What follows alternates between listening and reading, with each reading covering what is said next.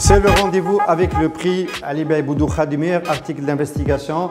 Lorsqu'on a lancé ce prix il y a euh, longtemps maintenant, en 2014, juste un article d'alerte. Aujourd'hui, c'est devenu très compliqué d'exercer juste le métier de journalisme. C'est pour ça que plus que jamais, pour la quatrième édition du prix Ali Bey Boudouha, nous avons besoin de votre soutien.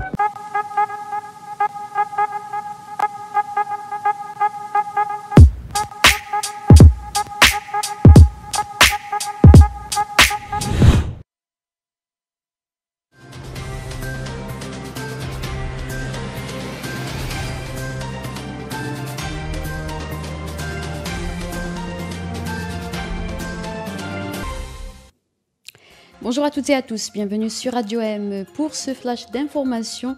Le procès du journaliste Hamid Goumrassa, prévu initialement ce mercredi, a été euh, reporté pour la deuxième fois par le tribunal de Bir Raes à Alger.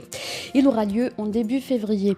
Le procès de l'ancien gendarme Mohamed Abdallah, prévu également ce mercredi au, tribunal de Sidi Mohamed à Alger, a été reporté au 2 février en raison de la grève des greffiers. En effet, les greffiers sont en grève pour la quatrième journée consécutive. Leur grève est accompagnée de rassemblements devant les entrées des tribunaux. Ils revendiquent une, une amélioration de leurs conditions socio-professionnelles, notamment de quitter le système de la fonction publique et de rester sous l'autorité du ministère de la Justice.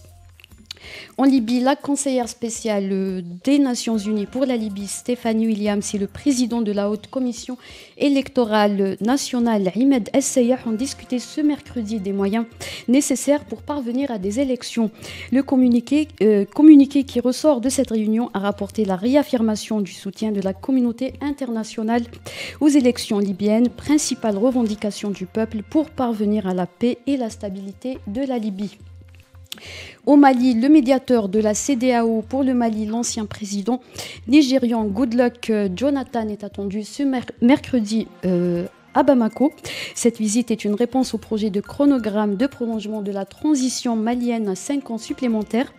Euh, elle intervient également avant le sommet extraordinaire des chefs d'État de la CDAO qui se tiendra le 9 janvier prochain. Deux jours après la démission du Premier ministre Abdallah Hamdok, euh, les États-Unis, l'Union européenne, le Royaume-Uni et la Norvège ont exhorté les militaires soudanais à ne, pas nommer unilatéralement un nouveau Premier ministre. Dans une déclaration commune, ces pays ont affirmé qu'ils refuseraient de soutenir un Premier ministre ou un gouvernement nommé sans l'implication d'un grand panel d'acteurs civils. Le secrétaire général de la Ligue des États arabes, euh, Ahmed Aboul a déclaré respecter la décision du Premier ministre soudanais Abdallah de quitter son poste et a appelé les Soudanais à engager le dialogue pour le bien du Soudan. Et enfin, la sélection nationale de football affrontera ce mercredi à 19h son homologue ghanéenne à Doha en match amical de préparation de la Coupe d'Afrique des Nations Cannes Cameroun 2021. C'est la fin de ce flash. Merci de nous avoir suivis.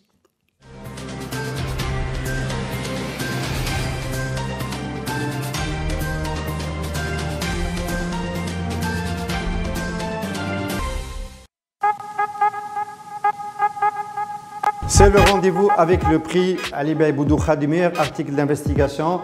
Lorsqu'on a lancé ce prix il y a euh, longtemps maintenant, en 2014, juste un article d'alerte. Aujourd'hui, c'est devenu très compliqué d'exercer juste le métier de journalisme. C'est pour ça que plus que jamais, pour la quatrième édition du prix Ali Bey nous avons besoin de votre soutien